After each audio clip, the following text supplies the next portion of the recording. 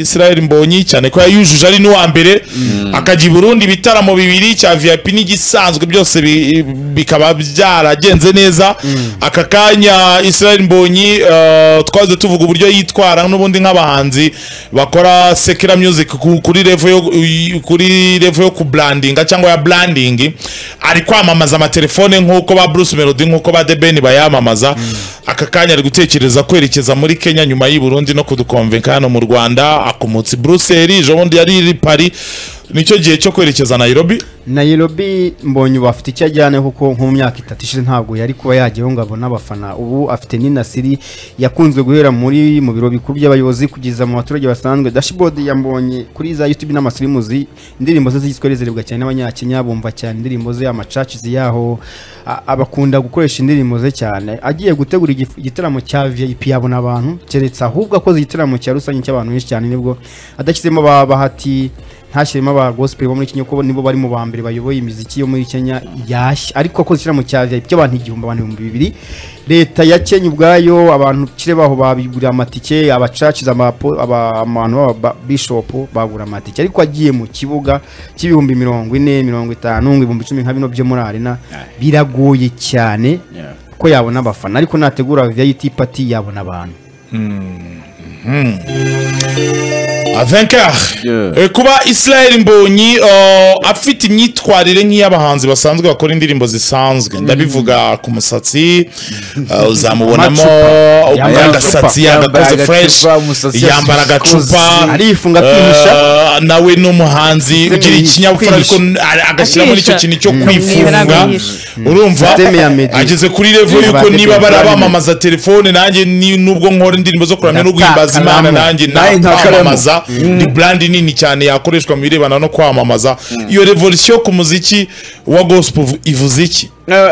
Ikintu kinini cyane. Kuko nujya kureba ah, mu minsi yashize twajya tuvuga bati abangaba ntabwo ari abahanzi bacu bati bariya nabo mu- kindi gice.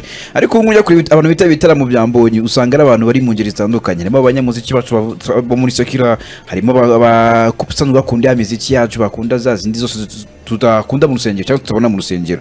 Kuko nujya kureba kwa mbonyi hariyo kategori z'abantu bose. Si uko uzababona mu bitaramo by'abandi bahanzi baririmba gospel.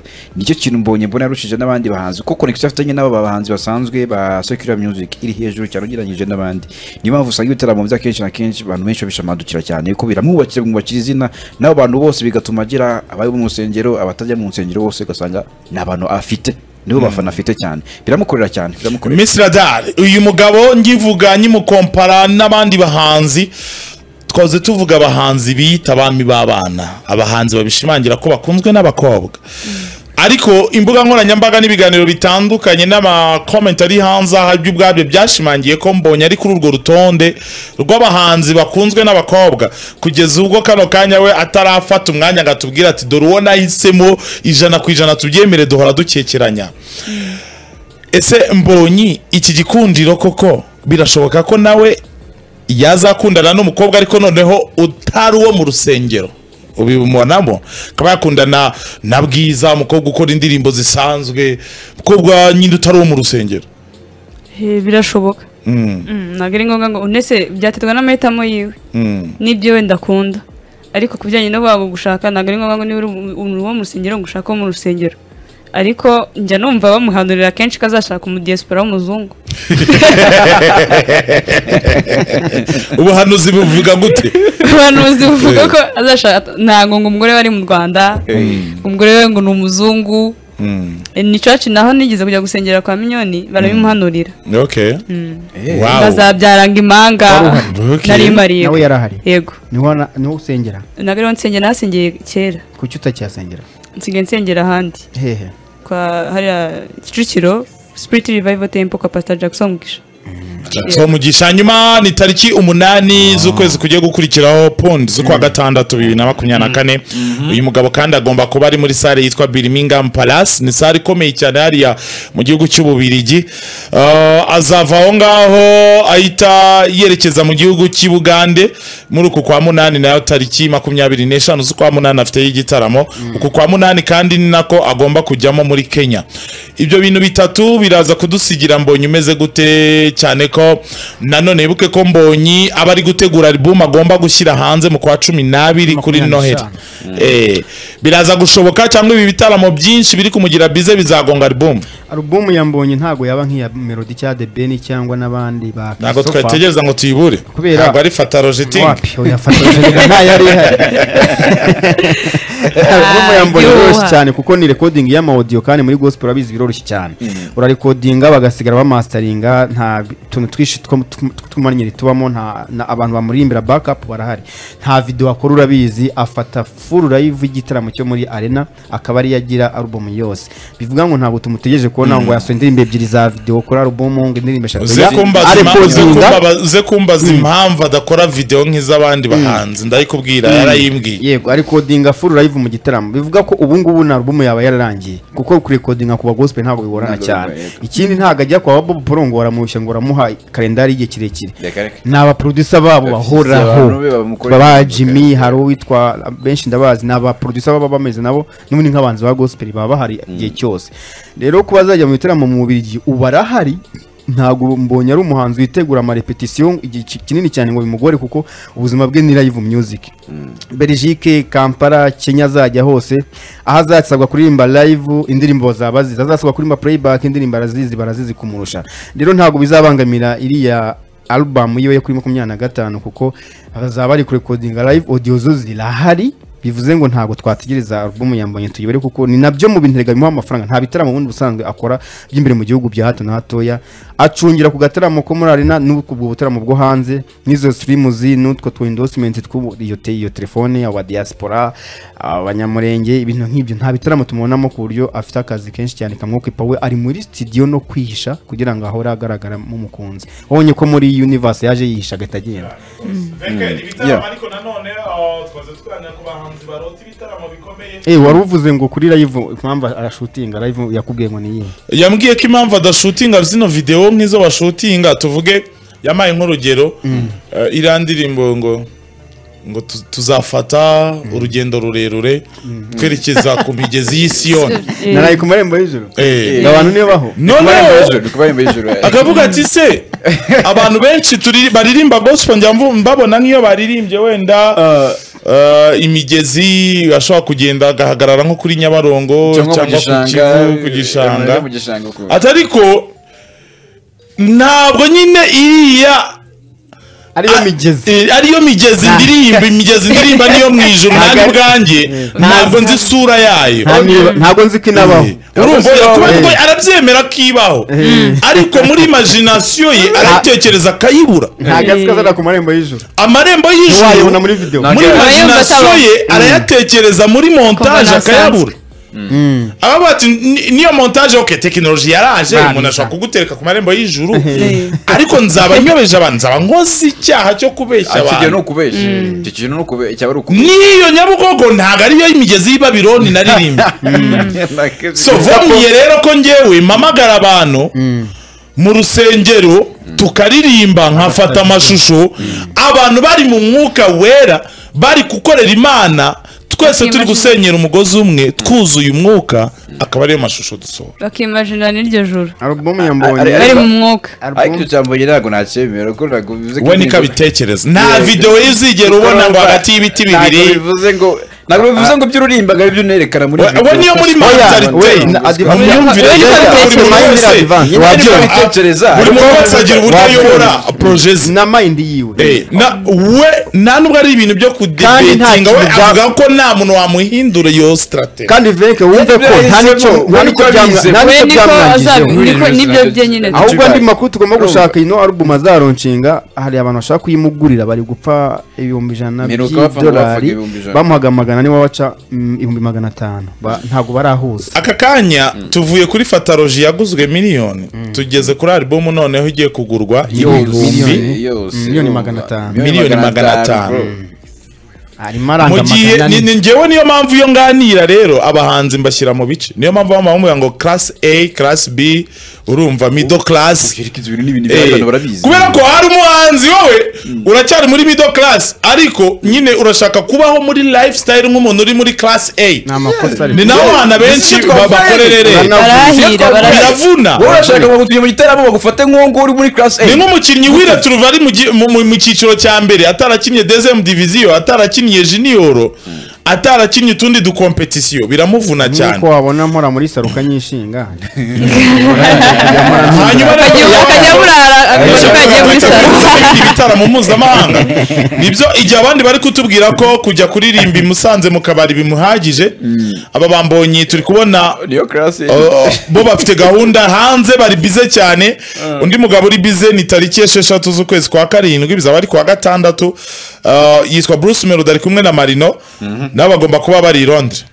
Eh, Na Element. na element na zo bari Londres. Urumva, Eh, eh, Bruce Melody na Marono bari Belgique. Bari Belgique. London ni Element London na Bruce Melody. Si- na Sweden ntayirimo na Bruce Melody na Marino bari Belgique. Ah. noneho Bruce Melody na Element Bari London. Nyuma nibagerayo hari ibindi bazakora kuko hari ibindi by'ibirayi aka kanya uwitwa Bushari na Bitrey bari Paris. Ejo muri weekend bararirimbye baba Baririmbiye- Byo Dutemo. baririmbiye Bari- ni Paris baririmbye baririmbye ibitaramo ariko ntabwo ari ya festival bari bagiyemo. N'ahandi hantu barigiye kuririmbira tubivuga kenshi ko umuhanzi yagiye hanze.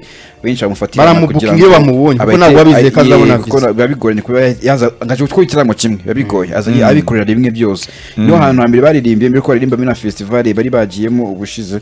Gusa ibintu byaragenze neza. Hanyuma uwitwa Miss Mutesi Jolly finally ngira ngo twigeze kumwotsaho umuro tuvuga ati baragutumiye muri ni Oxford ni Oxfam Ni ni Oxford. ni Oxford. Oxford. University. Oxford. Eh, finally rero akaba nawe yageze mu Bwongereza i London. Ikiganiro. nabonye bamwakira neza ku- n'urugwiro rwinshi cyane. Eh, na na Yves yararimbye muri weekend ishize kuwa gatandatu. Nawe Bwabo. yararimbye kuwa gatandatu. Ariko gutaha bikomeje kugorana. Eve ariko icyantunguye kwarangira. n'uwitwa kurarangira. kwiki? Igihe yagendeye. Mirongo itatu yarashize? Eh. Yambwiye ko azamara Yarashize. ukwezi. Yabivugiraga ko azamara ukwezi. Kumwe nikurangira niko tuzaba maze ugeze ugaruka Christopher yagiye ryari? Ariko nanone ibi bitaramo uh, ibi bitaramo bimaze kuba byinshi byo hanze ni byo twabirose igihe ni ikintu cyo gushimirwa. Ariko se pundi ko aba bahanzi iminsi bikaraze muri bino bitaramo byo hanze nta mpinduka? Yaba mu buzima bwe busanzwe bwa buri munsi aho yabaga ni hahandi studio yakoreragamo ni yayindi imodoka aragendamo ni yayindi aya mafaranga ajyahe? Aya mafaranga ntayaba arimo akenshi. Hari ibitaramo bamwe bajyamo kugira ngo abashe kubona kashe muri pasiporo ubwo ndavuga visa. Ah, ubushize hari ubundi abahanzi bazakumena umutwe we. Visa ni ikibazo? Kugira ngo komeza bampe kashe. udutema ariko kwiza yarabuze Akorera kashe. fata visa ni ikibazo. Ubu bushize hari uwabuze visa arabeshya ngo yari afite gahunda nyinshi ngo Arabihagarika. ngo arabihagarika. Mm. itangazamakuru ryaragowe ngarabisubika bamwimye visa.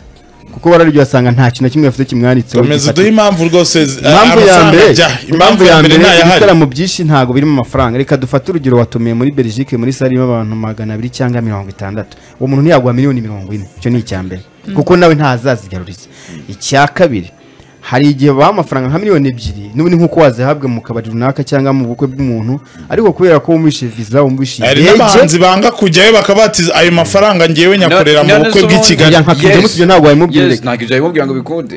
Ntabwo wabimukangisha rero hari ababona ayo opportunity cya mbere ya visa icya kabiri gusohoka igihugu icya gatatu kwemeza abasize hano. Mu rwanda tubaho mu buzima bwo kwemezanya. ibyo byo niko tumeze rwose. Kandi sisiteme agatahira indege agatagira hoteli nziza. Ariko urumva ariko bimeze ndi babone ngo ndi muri ture nta- iferi na- Eh, ni agaciye uziko na profit bagaprofita ngo ni tour- ngo ni Europe cyangwa se USA Europe tour. Tour. leta yitanga erope tu atari babiteguye noneho ubwo niba ufite warakuze iwanyu ni mu cyaro ni abakene indege ni inzozi nyine. Uba unagize amahirwe yikanagiyemo niba ushaka bagutsindemo ariko urayigeramo.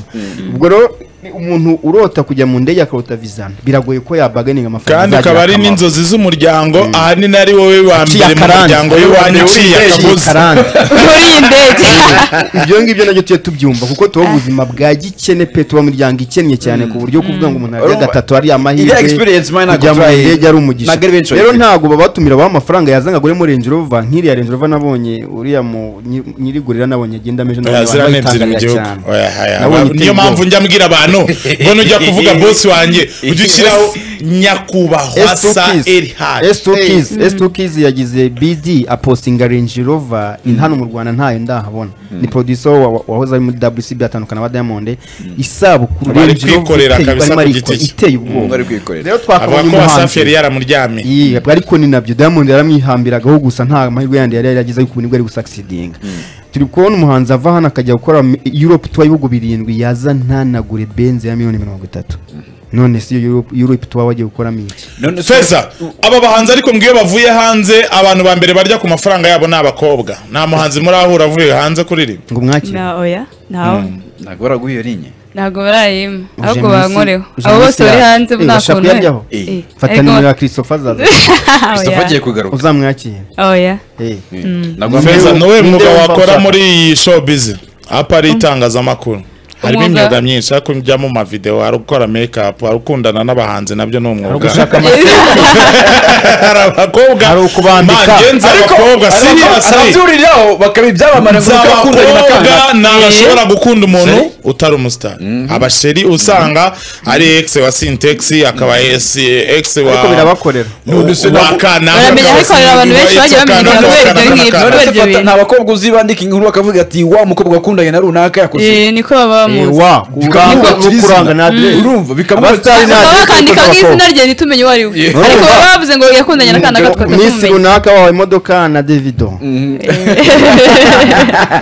babinyujije ku rukuta rwa instagram ubuyobozi bw'umuryango wa oxford africa wemeje ko watumiye jori mutesi mu nama oxford africa conference mutesi jori byitezwe ko azatanga ikiganiro mu gice eh, cy'iyo nama cyiswe oxford africa conference africa day gala diner and fashion show. Kizaba kigaruka ku mideli ikintu nshaka kubabaza uyu mukobwa ko tutamuzi mu banyaruhando bavuga uruhando rw'imideli ku rwego rwo hejuru mu rwanda. Iyo ushaka kuvuga segiteri y'imideli eh, sekiteri y'imideli ko tutamuzi cyane. Ok akorana n'abanyamideli kuko no mu minsi yambara neza urumva buri munsi yadodesheje ya- yagiye mu nzu y'imideli runaka gushaka abamwambika. Ariko si ibyo ngibyo biramuha noneho ubushobozi bw'uko kuri pano ari we wayicaraho akavuga imideli y'u rwanda. Mu gihe dufite abagabo nka ba franco dufite abagabo nk'aba john. Ba Sandrine. Dufite ba sandrine. Eh, john munyeshuri. Dufite ba sandrine. Dufite ba ba Dufite ba Isheza ABCD, ABCD. ba Christe Munezero bari kuri za Vogue. Bamenyerewe bari kuri za Vogue, ubundi izi pano n'izi invitasiyo bica mu zihe nzira. Ubundi kugira ngo dusubize icyo kibazo neza byasaba kubanza kumenya eh, kugira kuri rapano byaciye mu zihe nzira kugira ngo bamuhamagare. Gusa ikindi kintu navuga kuri ibi ngibi ntabwo kuba mideli ntabwo byatuma atagira komantere atangaho cyangwa se ibitekerezo bitangaho. Jori tumuzi eh, nk'umuntu wabaye mi- mi- miss rwanda yagiye ayoboye miss east africa yari visi perezida ni umuntu nyine ufite ibitekerezo bambonamo ko afite ibitekerezo byubaka. So kujya kuri rapano ashobora no kuvuga iterambere rya fashion nk'uko abibona mu rwanda ashobora gukora study akabyiga akabibona cyangwa se akabona aho byerekeza ashobora kusanya ibyo bitekerezo akabivugaho ashobora kuvuga ati washora imari mu mideri yo mu rwanda bitewe n'ibi n'ibi n'ibi abcd ibyo akabivugaho bitewe n'izina afite rishobora kumutwa ko ryabimera kujya hariya. Bivuga ko ari muri iyo industry bitewe n'izina afite. Ikindi kintu abamwegereye bo ni bande nyine? Ashaka kubaziranye nabo ashaka kuri connection yakuyeyo. Wenda bango bagiye gutanga icyo kiganiro ni abantu nyine batazi ibijyanye no mu Rwanda atazi ko hari niyo fashion industry. Bakavuga bati bwa baye Miss Rwanda ashobora kuba bizi babimuhereza kugira ngo aherezwe ni aho yavuga ati hari kanaka mwavugisha ubirimo nawe akavuga ati umwanya ndawukeneye reka nanjye mufate mubyaza umusaruro akeneye iyo foto akeneye iyo video kuba ari aho ngaho. Nawe ubwe ntabwo ya- yabyiteje ntabwo akitesha ayo mahirwe so kuba tutazi ahantu byaciyemo kugira ngo bamuhamagare byonyine. Ntekereza ko dushobora kudutegereje kuzumva azavugamo iki byuzuye yego byinshi rero byigirwa muri iyi nama byita ku mishinga yateza imbere umugabane wa afurika akarusho kuba nyabagendwa no kuba isoko y'ibisubizo by'ibibazo biyugarije. Hanyuma mu bandi rero pundi ari naho nshaka guhita nkuganisha bazitabira iyi nama.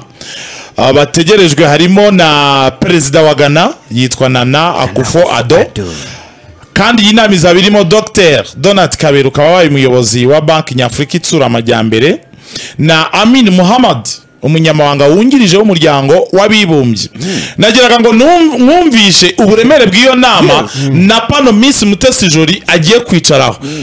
Ese apari yuko turi kumushinja wenda ko adafite skills zihagije ku birebana n'imideli azaba agiye gusobanura.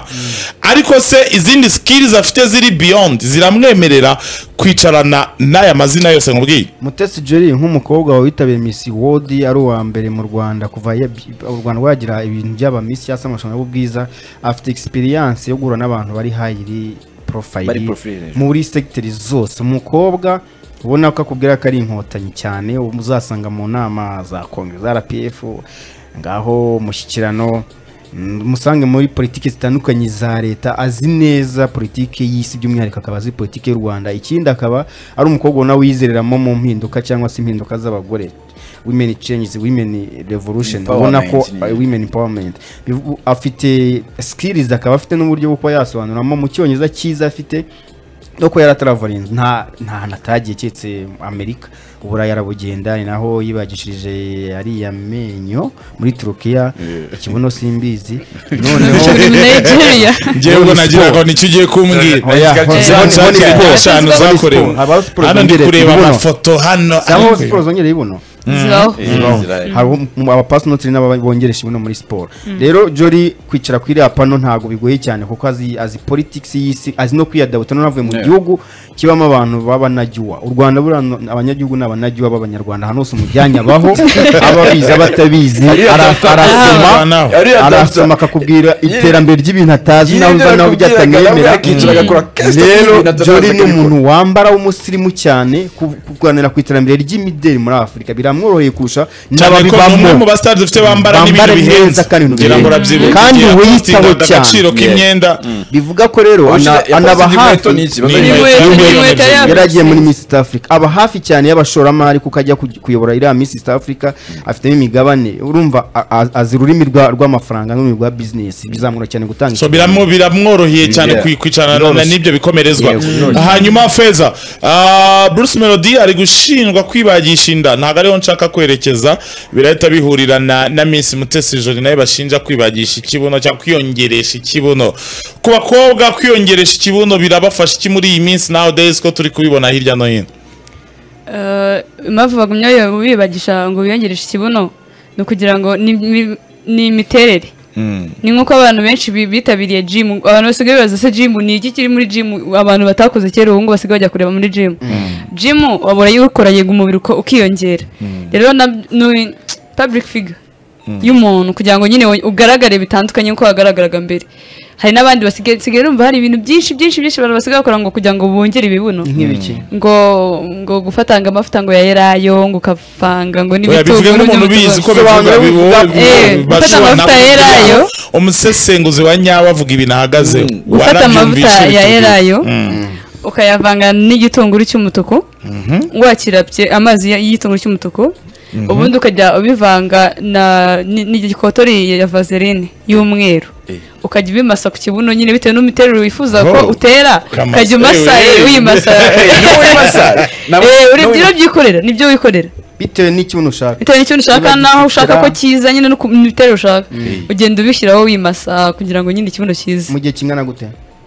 Nk'iki- ibyumweru bibiri ariko ngo iyo uhagaritse iyo ubihagaritse bihita bigira bihita bisubirayo Eh, bisaba ngo uhozeho ni nko kujya muri jimu muri jimu iyo umaze igihe kinini ukora jimu hari impinduka ubona. Ariko iyo ubihagaritse bihita bisubirayo. Iyo ni sisiteme ya mbere kugira ngo uzane ikibuno. Ubundi buryo? Ubundi buryo ni sajari nyine. Kwibagisha Mm, no, eh, hari, n'ubundi buryo. Nabwo ni muri kenya. Hari imiti banywa ukagabanya mu nda cyangwa ukagabanya ikibuno. Ariko iyo miti iyo uyinyweye urabyibuha cyane. None bigasaba kuko ujya muri gym kugira ngo nyine umainteninge taye yawe. Okay Eh, none se iriya poroje yo kugura ikibuno u- wambara tu utarinze wibagisha cyangwa ukoze ibyo byose yaf- yafeiringiye hehe? Abakobwa muyishinja iki? Ko mwayiteye umugongo? Iriya poroje ni na- na- ya- byaranze kuko ibaze kuba umuntu murasohokanye ari kubona ko ufite ikibuno muratanye mwagera mu buriri agakora agasanga wapi. Cyangwa wakuramo ikibuno agasanga mm, mm, Eh. ni nkanjaga ubwo rero byaraferinze icyiza ni uko wajya nyine uba ufite icyo ngicyo cya kimara iki? sajari cyangwa kimera iki? Ni abahungu nk'uko twahoze tuvuga ngo nyashi. Nababwiye ngo nyashi ngo small nyashi return muravuga ngo ya nyashi nyashi nyashi zaba nyashi. Reba abantu benshi koko bagumya bakunda nyashi nyine. Abantu benshi bakunda nyashi sinzi impamvu. Rero ni cyo gituma aba- abakobwa benshi badafite nyashi nyine bibutakara icyizere bakajya gushaka kubikora nyine ibi byose. Okay. akajya muri jimu akanywa imiti akagira gute ibintu nk'ibyo. Tukivuga ibirebana n'ibitaramo byo hanze y'u rwanda witwa masamba inor muri iyi weekend nawe yari mu gihugu cy'i bugande. Hanyuma ni igitaramo ndetse uwitwa ruti joel yatunguranye cyane nawe akagaragara hari i bugande. Baragendana ntabwo babona. ntabwo masamba na babona ruti bari ni bamwe kumwe. kuko ntabwo Masamba- twabyita ari surprise. abari aho ntabwo ari surprise. Kuri bo kuko ntabwo yari afishe. ni ntabwo yari ari kuri afishe ariko masamba ntari hose ahashoboka. Ajyana na ruti kuko arashaka kuzamusiga mu gakino ni igitaramo cyitabiriwe n'umubare munini w'abakunzi b'umuziki gakondo batuye cyangwa se bakorera mu mujyi wa kampala. Ah, kuba amasamba intore mu minsi yashize twaramubonaga cyane ari kumwe na buravani twaramubonaga cyane mbere ya buravani na jire sentore. Aka kanya umuntu uri kwibere ni ruti. Bi- bivuze iki? Mm, Iva Brava ntawe abandi baracutse. Iva Brava yaratabarutse. Imana mwakire mubaye imuheruko ridashira ikomeze n'aba- n'abasigaye urumva uwo yaragiye yagomba kumutoza binahiye kuri ya alubamu yitwa twaje. Bagiye no gukora festival yayo twaje fest. Iri ndirimbo yitwa gusakara y'ikinyarwanda cyumutse cyiza cyanditse neza. Barava wibuke ko yakozeye mu itorero ibihame by'imana. Utijoye nawe yakuriye muri ya torero ry'ibihame by'imana. Ubu ngubu Jules Sentore kano kanya asa nkaho yacutse kuko amaze igihe mu bitaramo i Burayi we yarakuze yabaye umugabo ari kwirera a- avuye mu mas- mu mafestival yo na teta muri Swede za Belgique n'ubu ntago nzi neza nimba ari mu Rwanda yaramaze igihe mu Burayi. Dr. Joy ne uhari uri gutanga icyizere cy'uko mu gihe bose badahari usibye cyusa yabasha kuba ya- yafata inkoni ya gakondo akaba uribuka ko yotse kuri nshinga album mu ntare conference amatike agashira ya VIP akuzura urabona neza ko ari ukwiriye kuba agenda mu birenge bya Masamba kugira ngo ahantu hose Masamba yakanaje ikirenge rutakiyakandagize Masamba nananirwa agatabaruka ruti azaba hari afata ya nkoni ya gakondo. Kuko isaha n'isaha agiye kuza imyaka mirongo ine mu muziki Masamba Intore arakuze. Ni umwe mu babohoye igihugu yagize uruhare rukomeye arakuze. Igihe ubuntu iyo ariho icyo gisigaye ni ugupfa. Natabaruka rero agomba gusiga abantu bazi neza filozofi ya gakondo ni ruti Joel kuko jirumba ntawe uhari ari mu ndege nawe buri munsi yarakuze yamaze gucuka brava ntawe uhari nta wundi tubona aka kanya wakabaye ugenda mu, kwaha kwa Masamba Intore usibye Joel hanyuma ruti joel rero ahabwa mikoro yagize icyo avuga aravuga ati umutoza wanjye ntabwo yansaba kumuherekeza ngo mbyange. Yarabinsabye numva ko ari iby'agaciro nanjye njyayo ntazuyaje ubwo umutoza we yavugaga amasamba inor bihora ari ishema kuri njye gutaramana nawe. Uh, venke ubona abandi bahanzi uh, habura iki mu mu muziki usanzwe kugira ngo abahanzi babe fiyeri y'ababazanye muri game cyangwa y'ababafasha. Aka kanya Bruce Melody komanga mu gatuza akakubwira ngo nazanye Juno na Kenny Solo. Ariko buriya uganiye na Juno na Kenny Solo icyo ari cyo kiganiro cyonyine ushaka kuvuga. Ntabwo yakiguha kiri ketubwiye muri prive nyine Eh, mwiherereye no- muramutse muri na prive yarira.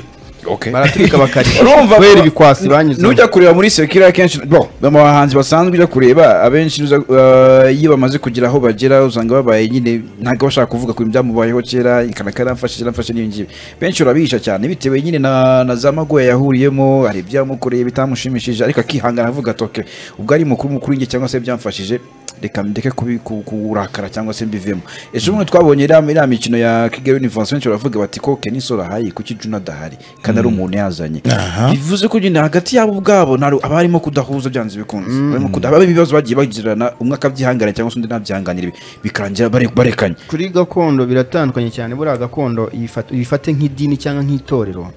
Uzasanga muyanga akubwira ngo ntabwo mfite ikibazo cy'uko napfa mfite abo nsiga ngaba akabakwereka abasasirikare bwa niko kubwira ngo mfite na pamela ntabwo nta kibazo ufite n'uyu napfa. Masamba intore arabizi neza ko akuze intege ziri kugenda zigabanuka nubwo akiri igikwerere bitandukanye na melody uririmba afrobeat akavuga ati umuziki si uwa ba so si uwa ba nyoko. Narawusanze ndihiringa birakunda napfa nakira ibyo nta kintu bibarebaho sibyo si ya nyoko si ya so. Abo ngabo batandukanye na gakondo bakubwira ngo tugomba kuyiraga abana bacu ntizacike kuko natwe twayirazwe na ba bakubwiye ko nabo bayikuye kuri basi. Baba bayikuye muri mu maraso yabo. Masamba kuba yagenda wenyine akajya kampala yaba ari igihombo kuko kiriya gitaramo cy'abanyarwanda kiba buri mwaka arashye imyaka ibiri atakijyamo a- azajyayo ba ruti Joel bacyusa bazajyayo. Naho twebwe muri sekuru umuntu ari urumva guhera kuri sentore mukuru hakaza Masamba, hakaza sentore jinya hakaba haje Bajire, rutijweri abo bose ni hari umuziki gakondo wubakitse mu Mm, buryo bw'umurage. No gusigasira kugira ngo utazacika kuko bo barangaye rega wakwibagirana burundu. Kuko ntabwo twika umuziki wabo. Bisaba ko bo bawuhererekanya mu buryo nyine bwa orari bw'amateka. nawe twebwe melodaraza ikintu kubite kubite. eh, undi muntu azacekeho nyine barakubwira ngo amugana umuziki si Uwa uwa so si Yes, uwa nyoko. hari ikintu bagira hari ikintu bagira twe tutagira kenshi na kenshi. Bariya ari- iyo ugiye kureba usanga umuziki wa harimo n'urukundo rwinshi bitandukanye na sekira baba bafite ubwoba. Sekira uraza ugasanga avuga ati ngiye kwihiringa nkora ibi ngibi mbikora uko mbishatse biri uku nguku. Ariko nyine ntawe nitayeho ngo ninde uzabyumva cyangwa se ninde nzabiraga ikindi tujye no bitandukanye muri gakondo. Gakondo muraraza ifite ubushobozi bwiwe ameze neza afite umufamiye imufashe neza. Avuga ati umuziki ngiye kuwukora kubera ko nawe urazwe na data cyangwa se famiye awukora eka- akawugenda muri uwo mujyo bitandukanye nuko ngiye gukora afrobeat cyangwa se ngiye gukora hip hop kuko nabikunze gusa nashaka nagira undi uzabikora ikindi kintu ubwo cyane nk'ubu masamba intore kuva kigali ajya kampala muri rwanda ya nubu afite amatike y'indege y'umwaka wose. Kujyanamo ruti joel nubu nta kintu yishyura. Hoteli arimo aravuga ati mfite akana kanjye. Ibyumba barabimuha ku ntarya n'ibiki byose. Taransiporo zose ni ubuntu. Bitandukanye no gufata umuhanzi wa sekira uri gushyira tike y'indege akishyura abantu babiri akazishyura hoteli akagira gute? Exigence z'umuntu wa wa gakondo n'uwa sekira biratandukanye cyane. Kuko ruta ahantu hari nta kintu basabwa gutanga. Uwa sekira za inzoga nywa barazigura abakobwa barabishyura bararana aho bagenda ibintu byose bitandukanye na masamba ahubwo we abantu baba batonze umurongo bashaka no gufata amafoto n'amusozi bamuha n'impano n'inka bamugata ahubwo se waba n'icyumweru cyose natwe dufite ubukwe wadusoreye umugeni? Ibyo byose bituma n'ubushobozi butuma abantu ba gakondo.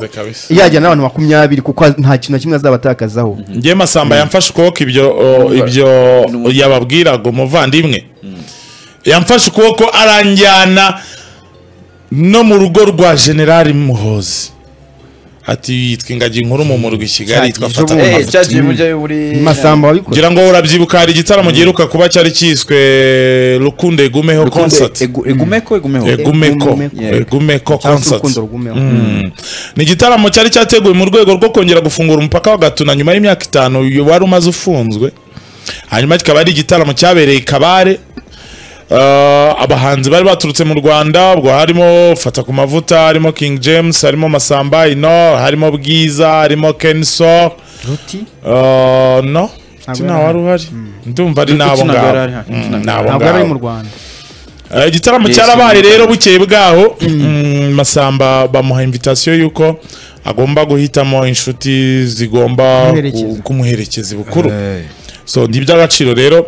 Kuba mu nshuti yahisemo hari harimo n'ingagi nkuru mu murwa. Ko byari kuba bibabaje kujya ibwami oya tutagiye guperezanta ibyiza by'u rwanda. Uwo ni we masamba. Tutagiye masamba. guperezanta ingagi. Masamba. Avuga ati yafashe- uriya yitwa ingagi. Ingagi iwacu ni umuco. Ati ibaze ingagi. Ingagi mu murwa. Cyangwa bavuze ati kanaka yahisemo kwiyitira ingagi mu